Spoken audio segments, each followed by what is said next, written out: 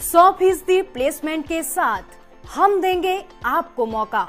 Live 24 media institute admission open registration के लिए call करें। Nine five six zero four six four one seven zero nine five six zero four six four one seven zero corona virus के चलते पूरे देश में lockdown बना हुआ है, जिसके चलते लोगों को राशन और ज़रूरत का सामान नहीं मिल पा रहा।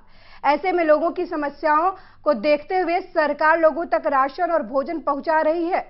वहीं समाज सेवी संस्थाएँ भी लोगों की मदद करने सामने आ रही हैं। प्रदेश के अलग अलग जिलों के साथ नोएडा, गाजियाबाद में भी लाइव 24 की टीम ने लोगों की मदद की। अलग अलग समाज सेवी संस्थाओं के साथ मिलकर नोएडा, गाजियाबाद के इलाकों में लोगों तक राशन और भोजन पहुँचाया।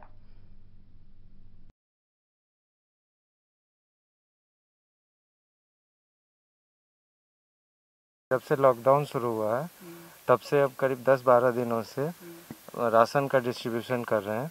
और राशन के डिस्ट्रीब्यूशन करने के लिए हमें कुछ मदद की ज़रूरत होती है जो हम पी आर वी अठारह पचास से हेड कांस्टेबल राजेंद्र जी की मदद से आ, सारा लोगों की दूरी बनाए रखने के लिए हम उनसे मदद लेते हैं।